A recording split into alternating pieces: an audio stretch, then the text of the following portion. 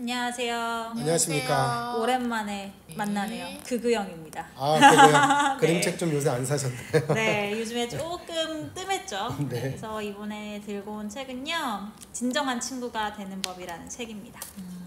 여기 보면 첫 화면과 마지막 화면 보면 산이 보이죠. 그래서 가운데 보이는 네, 이 사람이 주인공이에요. 아, 네. 주인공이 산에 사는 엄청 네. 높은 히말라야 산맥 같은 그런 산에 사는 한 네. 몬스터를 만납니다. 몬스터요? 네. 보통 여기 히말라 있습니다. 아니 히말라야 몬스터면은 그거잖아요. 예티. 예티, 예티. 네, 맞습니다. 어, 바로 이 사람과 예티 간의 이제 친구가 되는 음. 법에 관련된 책입니다. 그래서 이 예티를 만나게 된 까닭은요, 뭐냐면 이 사람이 과학자예요. 아. 과학자가 예티 연구소로 가게 됩니다. 네. 그래서 예티를 만나서 이 연구를 하려고 하는 목적으로 이제 가게 되는데요. 그럼 요게 면지가 되는 거예요? 네.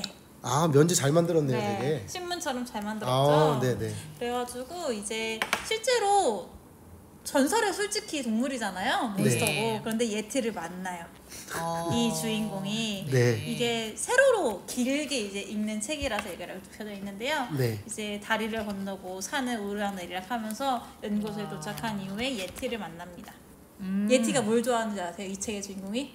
예티요? 네. 뭐뭘 좋아하실 것 같아요? 생선. 생선? 아니요. 쌀국수를 좋아합니다. 네. 아니, 그런 정보는 어디서 얻었대요? 여기 나와 있어요. 아, 이 책에 나와 있어요? 네. 그런데 더 웃긴 거는 그냥 쌀국수가 아니라 고수가 들어간 쌀국수예요. 와, 맙소사. 저 아. 고수 못 먹는데. 그래서 이 박사가 맨 처음에 그냥 쌀국수를 이렇게 들고 어떡해. 올라갔다가 네. 고수를 빼뜨린 거예요. 네. 그래서 다시 고수를 가지러 그 다시 먼 올라갔다 내려갔다 네. 합니다. 그래서 이제 유혹을 해서 아기 예티를 꼬셔요. 어. 그래서 연구소로 데려오게 되는데요. 이 연구소에 데려와서 인간의 입장에서 생각하는 이 예티를 만들려고 해요. 그게 무슨 뜻이죠? 그러니까 예티를 거의 인간화하다시피 생각하면서 친구로 만들려고 하는 거예요. 아, 그런 연구를 하는 사람이에요? 네. 아. 그래가지고 막 예티한테 별의별 걸 다 해요. 뭐 숟가락 젓가락을 쥐어오게 한다든지 뭐 얼굴에 뭘 입힌다든지 세수를 시킨다든지 뭐 이런 별의별 짓거리를 다 해요. 네. 그런다고 예티가 바뀌겠어요? 네, 아니요. 바뀌지 않죠. 네. 그래가지고 예티가 어느 순간 화가 나는 바람에 네. 이 연구하는 연구 과학자를 위협하게 됩니다. 아, 그 네. 아기 예티가요? 네, 아기 네네. 예티가. 그래서 막 전화를 돌려가지고 이 예티를 다른 곳으로 뇌과학 관련된 연구소로 아우, 데려가죠. 마지막 페이지네요, 여기가. 네. 네. 진짜? 네. 그래서 뇌를 이제 설마, 뇌로 설마. 바꾸려고 해요. 아, 뇌를 예티를. 바꾼다고요? 네. 예티의 뇌를 바꾸려고 하는데 바뀌어지지가 않죠. 과학자가 맨 처음에는 이제 예티를 어떻게든 인간화 시켜서 친구가 되려고 하는데 같이 지내다 보니까 정이 쌓였겠죠. 아, 그래서 나중에 네. 결국에 그뇌 프로젝트를 진행하려는 도중에 예티를 빼옵니다. 아. 그래서 같이 다시 히말라야 산맥으로 돌아가는 돌아온다는 이야기. 이야기예요. 그 다음부터는 이제 예티의 본 모습을 그대로 존중해주면서 이해해주는 이야기로 끝이 나게 돼요. 아, 그래서 어, 저는 이 책을 보면서 아 친구들과의 관계에 있으면 원래 보면 내가 얘랑 친해지고 싶어서 친해졌는데 나한테 맞추려고 하는 경향이 되게 강하잖아요. 네, 맞아요. 예. 근데 그렇게 되면 결국에는 사이도 틀어지고 싸우고 하는 이제 과정이 발생을 하게 되는데 어, 이 이야기에서 하고 싶었던 얘기는 그건 것 같아요. 있는 그대로를 받아들이고 음. 존중해라 네. 하는 책인 것 같아요.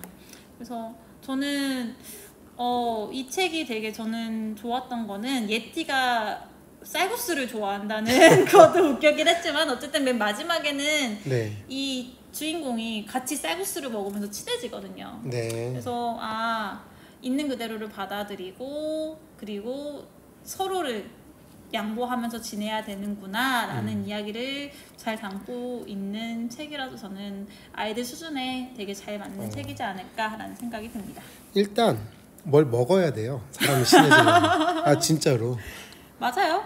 그리고 이 작가님 그 그림이 되게 그러니까 독특하죠. 구도가 되게 마음에 드네요. 네 맞아요. 이렇게 뭐 멀리서도 봤다가 위에서도 바라봤다 이런 것들이 저는 되게 마음에 드네요. 이렇게 구도를 잘 잡는 게. 세계 대비도 굉장히 명확해요. 네. 네, 세계 대비가 명확해서 명함이 명확하죠. 뭐 네, 테두리가 없더라도 그냥 그 배경에 묻혀 있는 그림조차도 딱 뭔지 알아볼 수 있게끔 여기도 보면 지붕이 따로 분리가 안 돼 있잖아요. 구분이 안 돼 있는데 아 얘는 눈에 쌓여 있, 눈이 쌓여 있는 지붕이구나 하는 식으로 이제 색의 대비를 이용해서 어. 그리고 구분을 짓지 않더라도 이제 인식이 되게끔 아. 그림을 구상을 하셨더라고요.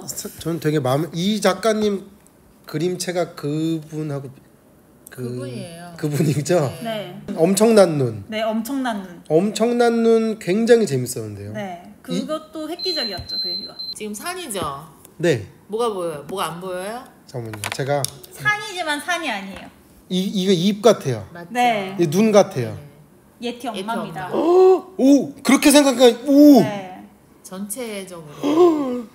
그러니까 조금 저는 진짜 깜짝이야 이거는. 이런 그림체 호불호가 있을 것 같긴 해요. 아 저는 마음에 그렇죠. 들어요. 호불호가 어, 있을 법하죠. 되게 막 어 왜 이렇게 지저분해 이게 뭐야 정신없게 이게 뭐야 뭐 이렇게 좀 산이나 주변 풍경도 약간 실사 느낌을 담아서 더 지저분하거나 막 더 이렇게 정신없는 느낌이 있긴 한데 호불호가 있으니까요. 음. 저도 네. 괜찮아요. 네. 저는 그리고 이 세로 구도를 이렇게 매력 있어요. 짜서 네. 네. 그림을 많이 이제 그림책을 많이 만드셨잖아요. 커다란 눈? 커다란 눈도 그랬어요. 구도가 네, 맞아요. 명확했고요. 네. 그래서 되게 색다르다는 느낌이 많이 들었어요. 네. 그리고 세로 구도였을 때 느낌을 굉장히 잘 살리시는 분인 것 같긴 해요. 음, 맞아요. 색깔을 제한적으로 써서 되게 강렬하게 다가와요. 저는. 네. 그래서 같은 배경이더라도 색을 다르게 하면서 부- 주는 네. 분위기가 네. 확연히 느껴지게끔 확실히 이런 그 그림책을 아이들한테 보여주면 아이들도 그런 미적인 경험이 더 넓어질 수 있는 것 같아요. 늘 똑같은 그런 구도가 아니라 네네. 뭐 세로로 길게 본다거나 뭐 이런 다양한 시도를 하는 그림책 작가님들이 계신데 그런 거 보면 아이들도 아 저런 방법이 있구나 아 이런 것도 있구나 하면서 좀 더 미적 감각이 더 좋아지고 시야도 넓어지고 할 수 있을 것 같네요. 그리고 좀 인물들이나 주된 주인공들이 되게 단순화돼서 표현이 많이 되어 있어요. 네, 특히나 이분이 만드신 작 그림책을 보면 인물의 얼굴의 형태가 거의 나와 있지 않아요. 그 눈, 코, 입 네, 느낌. 눈, 코, 입만 바뀌어 있고 얼굴 형이 나와 있나 나와 있지 않은 경우가 많거든요. 네, 그래서 아 이런 표현도 아이들은 얼, 얼굴형은 이래야 되고 눈, 코, 입은 이래야 되고라는 생각을 많이 갖고 있는데 네. 아 미술 미적으로 표현을 할 때 굳이 그렇게 표현할 필요는 없겠구나 네. 라는 걸 보여주는 것 같기도 해요. 여기 보면 이렇게 나와 있죠. 여기도 어, 예. 네. 구분이 잘 안 돼 그렇죠. 있어요. 안경 말씀. 네, 좋은- 흑백 대비처럼. 네, 좋은 것 같네요. 이런 거는 진짜.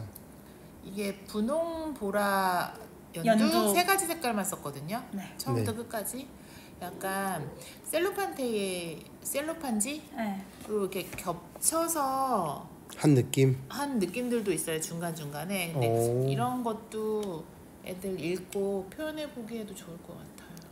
지금 검색해 보니까 이 작가님 중에 책 중에 빛을 찾아서란 작품도 있거든요. 어... 아, 이것도 보고 싶네요. 되게 마음에 드네요. 이거 도시 이야기예요. 도시 이야기. 그러니까 엄청난 눈하고 진정한 친구가 되는 방법, 네, 진정한 친구가 되는 법. 이거는 자연이잖아요. 그렇죠. 근데 이 빛을 찾아서는 완전 도시네요. 도시 이야기. 네, 도시인데도 되게 지금 미리 보기 봤는데 잘 표현하신 것 같아요. 마음에 드네요. 전 이 작가님 되게 그림이 있으신 네. 분. 그 개성이 마음에 드는 개성이네요. 한번 보시면 좋을 것 같아요. 네. 계신 분들도. 그래서 내용도 괜찮고 네. 구성과 이 색감 같은 것도 괜찮아서 네. 아이들이랑 같이 읽고서 이제 핑크님께서 말씀하신 것처럼 미술 활동을 해도 좋을 것 같고요. 그리고 이게 어쨌든 친구에 관련된 내용이기 때문에 친구 사랑 시간 이럴 때도 활용해도 좋을 것 같아요.